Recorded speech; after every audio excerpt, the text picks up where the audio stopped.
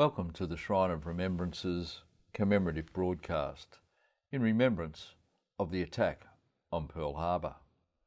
A service would have been held at the shrine today with members of the American Ex Servicemen's Association, as it is every year in the days leading up to the anniversary of the attack. Due to COVID 19 restrictions, we bring you this commemorative broadcast so that the service and sacrifice of thousands is still remembered. On the 7th of December 1941, Japan entered the Second World War by attacking the Allied forces in the Pacific. The most infamous and deadly was a powerful airstrike on the American Pacific Fleet, peacefully anchored in Hawaii's Pearl Harbor. In the words of the American Ex Servicemen's Association, we are a social organisation of American veterans living in Victoria, usually around the Melbourne area. We meet along with our Allied service members to commemorate events significant to our veterans. On this day, we remember the Japanese attack on the military installations in Hawaii. This attack was until September 11, 2001, the greatest loss of American lives in an act of outside aggression on home territory. This unannounced attack on Sunday morning, December 7th, 1941, was intended as a preventative action to keep the US Pacific Fleet from influencing the war Japan was planning to wage in Southeast Asia.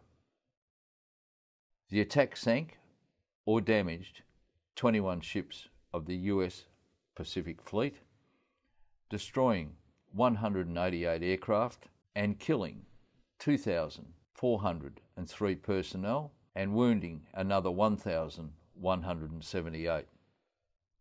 We also note that this same fleet accomplished another surprise attack on the city of Darwin some two and a half months later, where another 114 American servicemen and more than 120 Australians died. The surprise attack pushed US public opinion from isolationism to acceptance of participation in the war as being unavoidable. The lack of warning led Roosevelt to call December 7th a date which will live in infamy.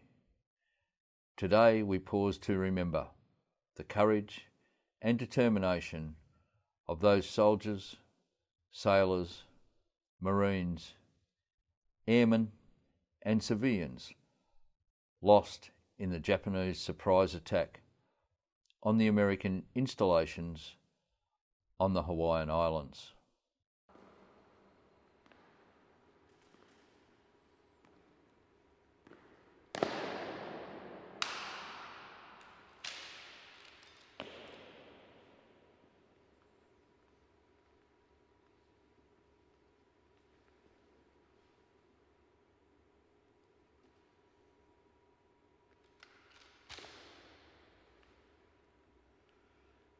They shall grow not old, as we that are left grow old. Age shall not weary them, nor the years condemn. At the going down of the sun and in the morning, we will remember them.